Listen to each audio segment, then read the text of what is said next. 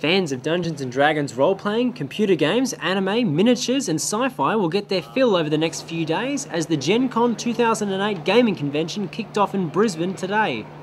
More than 10,000 people are expected to come through the convention centre during the four day convention, which will see hundreds of fans playing a variety of different role playing games, all in hard copy format rather than the more well known online versions.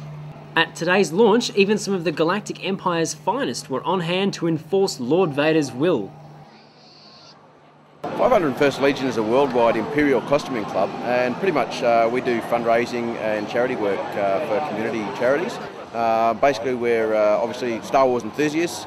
We get dressed up and basically do stuff like this co- at conventions. Nationwide, we have uh, just over 100 members. We've just broken the 100 uh, member barrier, and worldwide, uh, 4,000. We've actually just broken the Guinness Book of Records for the world's largest Stormtrooper or Star Wars costuming club.